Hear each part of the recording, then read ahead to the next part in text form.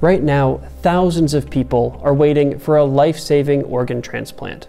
In Canada, how long you wait depends on two things how urgent your case is and how easy it is to find a match, which seems like an easy, fair system, right? The O blood type suffers the most uh, because that's the, the largest uh, population in the wait list.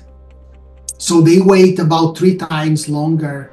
If you, like me, are type O, that might be concerning, and it does have real consequences. In 2024, 219 Canadians died waiting for an organ transplant, with the highest death rate among type O people. This is why researchers are so excited about a recent breakthrough. See, a new paper describes how scientists converted an organ to the universal donor blood type and transplanted it into a human subject. This could be huge, because one of the most important factors in finding a match is blood type. If you've ever donated blood, you probably know yours A, B, AB, or O. And you may have heard type O called the universal donor. They can give blood to anyone, but they can only get type O blood themselves. Well, all of that also applies to organ transplants. And to understand why, we have to zoom in, way in. See, some of our cells have these special markers on their surface. If you have type O blood, you only have the basic version, no bells or whistles. If you're any other blood type, you still make that same backbone, but your cells stick an extra sugar on the end. And that tiny difference is why you can't give type A blood to someone who's type O or type B. Their immune system sees the different sugar and freaks out. Do it with an organ, and it almost never works out. You get what's called hyperacute rejection. It's a very rapid failure of the organ uh, that caused by inflammation and blood clots that end up forming in the organ, and you basically lose the organ uh, in a matter of a few hours or a day. This brings us back to why some people spend so much longer on the wait list. Imagine there are three people on the heart transplant list who will all match for the same donors Alice, who's type A, Otto, who's type O, and Adam, who's type A.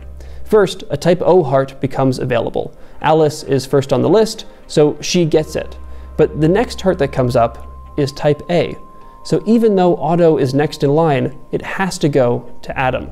And that's how us type O folks end up waiting longer.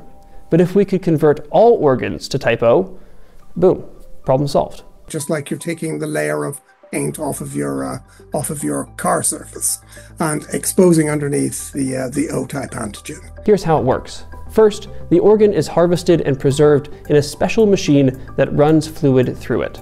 This is standard practice for any organ transplant from a deceased donor. But what's different is that special enzymes that Withers and his team discovered are added to the fluid.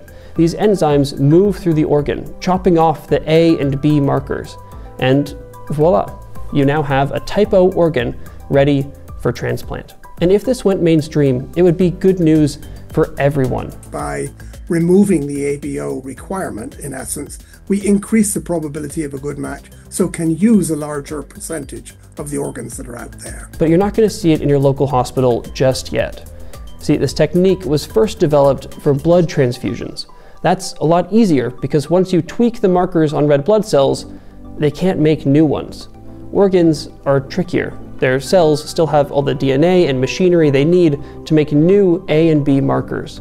But the study suggests that process may take a couple days, allowing surgeons to avoid that dreaded hyperacute rejection.